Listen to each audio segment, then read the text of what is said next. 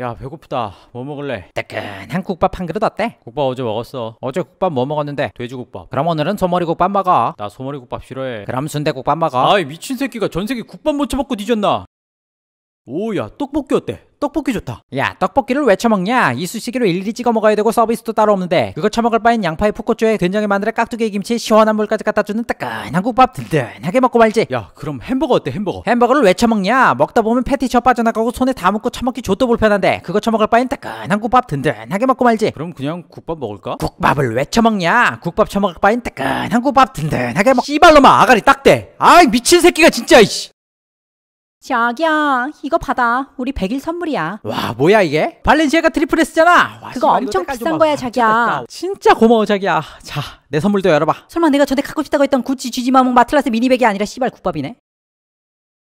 아니 자기야 그런 쓰잘데기 없이 비싼 핸드백을 왜 사? 그거 살 돈이면 뜨끈한 국밥 200그릇 든든하게 먹고 말지. 그래, 뜨끈한 국밥 줘서 존나게 고마운데 지금 우리 와 있는 곳이 어디야? 어디긴 어디야 국밥집이지. 국밥집에서 국밥을 선물해 이 미친 새끼야!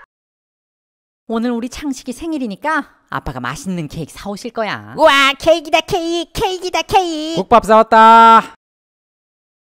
아니 여보, 케이크 사오라니까 왜 또 씨발 국밥을 사왔어요? 케이크를 왜 처먹냐? 생크림은 더럽게 느끼하고 맛대가리도 없어가지고 비싸기만 더럽게 처비싼 케이크 처먹을 바엔 따끈한 국밥 든든하게 먹고 말지. 야이 쌍놈 새끼야. 아빠가 국밥 사왔는데 눈을 왜 그렇게 떠? 빨리 감사하다고 안 해? 야 장식아 이리 와봐라. 왜요 아빠 내일부터 대학교 첫 수업이지? 아빠가 우리 아들 입학 선물로다가 아 됐어요 치워요 보나마나 또 국밥 들어있겠지 지겨워 죽겠네 진짜 이씨 국밥 아닌데? 봉투인데?